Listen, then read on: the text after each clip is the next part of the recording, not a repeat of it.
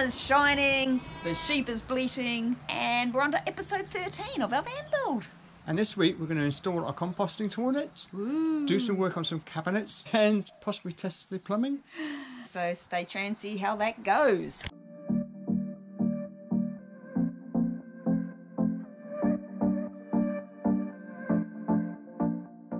Putting up the cabinet on the side. As usual, when I bring the camera out, everything goes wrong. Get the camera away from it. It's not going in the right spot. It's not going in the hole. You can't see. I 'cause can, I can see, but it's definitely not going in the hole. It's got the hole now.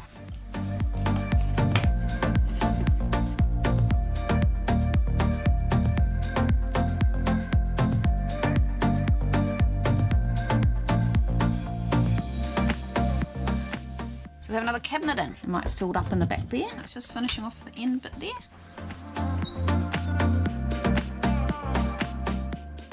It's an absolutely stunning day, and we're stuck at home because we're in lockdown. But anyway, we'd be here anyway because we're We're bleating like a lamb. because we've got a van to build. But anyway, we're going to take you through our composting toilet we've bought. So the composting toilet is a separating toilet. Mike's going to show you quickly how it works. Both men and women have to sit down to use it. The wee goes down to the front here and into the wee bottle. You poo down into the bucket. Okay, yep. You might be thinking that's going to be disgusting having all your poo floating around down in there.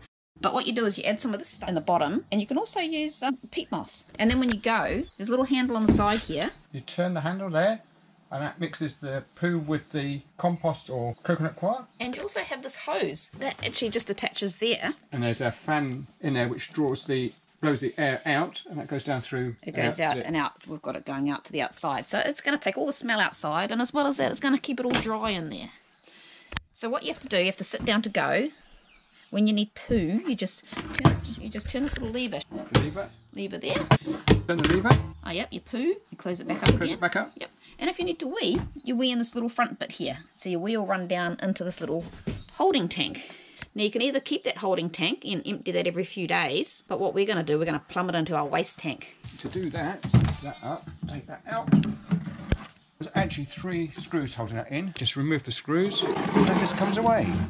I've got a bit of tubing, and that will just sit up on there, and that can then go down into our shower outlet. it's like an elephant with a trunk. I, I was thinking of something else, but that's fine. If I just lock that up a minute, carry it over here. Oops. This is where we're going to install it into our shower. Enough room for that to open up there. I'll go there like that. And then this piece will just go down into our shower outlet, which I know needs to be needs to be cut off. It's going to be cut off at floor level. So that'll be it. Then our pee will go down here, down there, and into our grey tank. So we don't have to empty it all the time. that's exciting, Mike. That's really awesome. So sit on it and make sure you're happy with that, where it's going to go. Well, it's got to put clamps in it. Yeah, I've got to clamp it down. Ooh. Oh, yeah, plenty of room for you. I'm not going to use it on camera though. These are the brackets to hold the toilet in place. Let's put the toilet in, and this is how his little hose that that's going to be cut It's off going at cut floor off level. floor level. But But, yeah, it's it's going to go in. Going to poke his hose in, Yeah. and then when you pee, it's going to dribble down there and down there and down into our waste tank. Then we just have to empty it at a, a dump station. But look at that.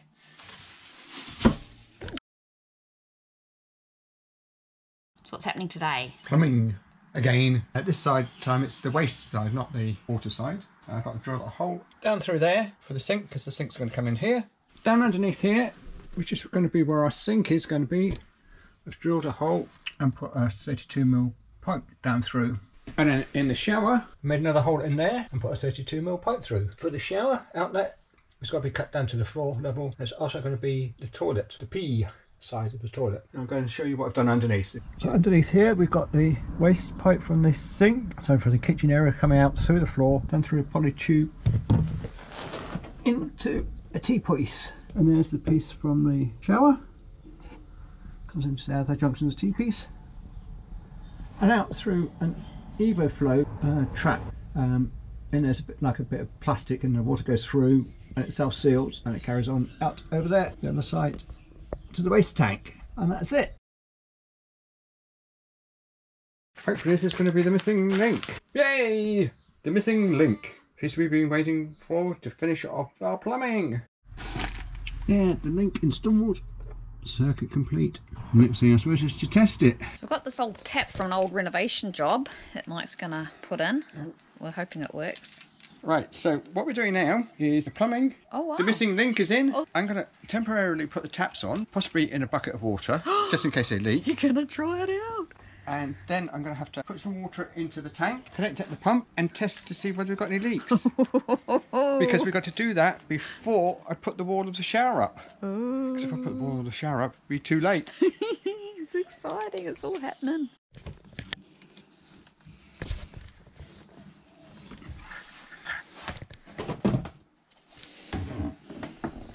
If it leaks, it leaks into the bucket. So I need to put some water into the tank. Okay. So Mike's going to fill up this, so I'll hold it. It's all spurting out at me. I'm not supposed to be doing that.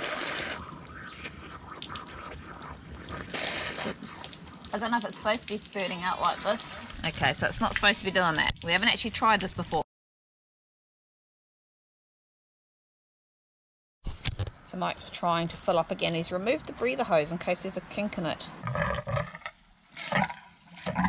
So far, yeah, it sounds like it's filling up now, so that's good. That's a pretty simple fix. The water gauge is working. Nothing showing there. Mm. Have you got the power on? Yeah. Oh, oh there it is. Oh, you have to push it then. Oh, that's weird. Quarter full.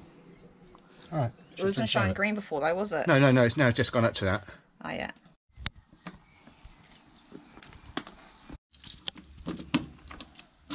Now Mike's going to test his plumbing, which oh, is a little bit no. terrifying. You want to turn the lights on? Have you got a quick stop system? Yeah, just take the fuse out. Okay, right. right. Oh, oh, the pump's going. Oh. There's water there. Oh, hang on. What's that round here? Oh, stop, stop, stop. It's coming out there, coming out there. Out which one? Down the bottom. It's Right, so the blue one. All right. It's pissing out. Yeah, all right, just... Okay, I'm just saying. So what was the actual problem, Mike? It was just leaking, was it? I hadn't pushed them in properly.